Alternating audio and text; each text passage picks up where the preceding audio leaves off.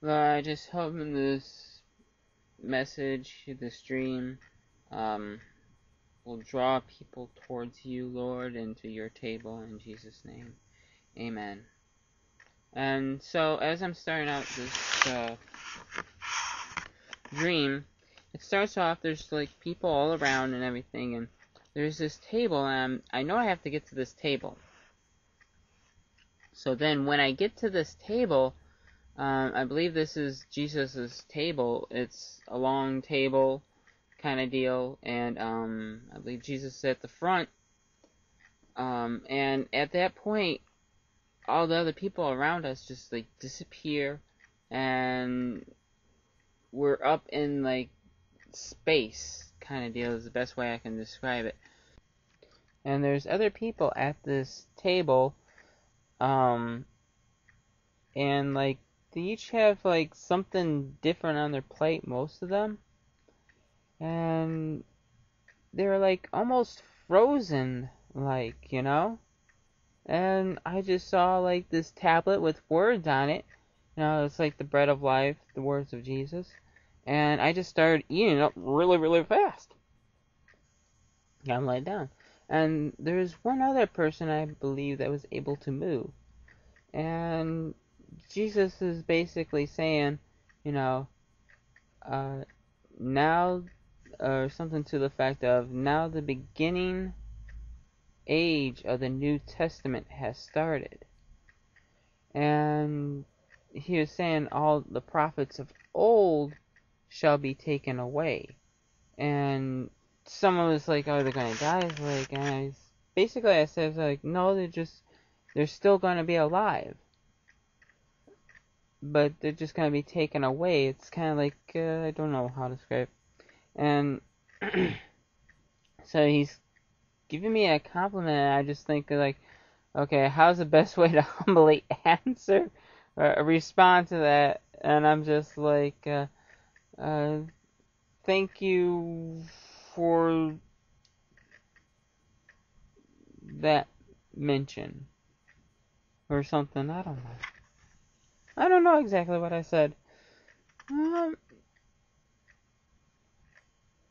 So yeah, and from that on the one verse, um, from all this, I'm giving you guys uh, Isaiah 4, 54:13 And all thy children shall be taught of the Lord, and great shall be the peace of thy children. And you know, from what I'm understanding is in the New Testament, that's when Jesus came and he taught the people himself personally. And I think this is what's really going on now spiritually. And just a bit of confirmation I came across too. Um, yesterday someone posted, I didn't even know that they did. They're talking about how everybody's going to um, other people's table to get the knowledge, but they're not going to Jesus's table. You know, they're going to pastors, people on YouTube. They're trying to get a word from God that way, and what they really need to be going to is um, Christ's table. And he's saying it's like, yeah, I'm taking those prophets. Uh, the way we used, the way things used to be done is a new, new way, new how. And he's in that verse right there. You know, he's saying, hey, I am the one that shall be teaching here. It's not going to be my prophets um, like in the old times and all that. It's going to be me. The Lord's going to be the one teaching you. Through His Word and through His Spirit, He should be teaching you. And you don't need to be going to a pastors and all that and saying, hey, give us a word, give us a morsel, all that. And we just need to turn our eyes towards Christ and he's going to reveal things in his time. And as we seek him, remember, when there is a treasure in the earth, you know, you have to dig. You have to work for that treasure. It's not just an easy, pleasy, oh, well, just grab and get the word from someone else. And that's fine, but you're going to be sitting at a harlot's table then. And what you need to do yourself is you need to be digging in and getting the word for yourself. Otherwise, you're getting it from some other source. It's not Jesus.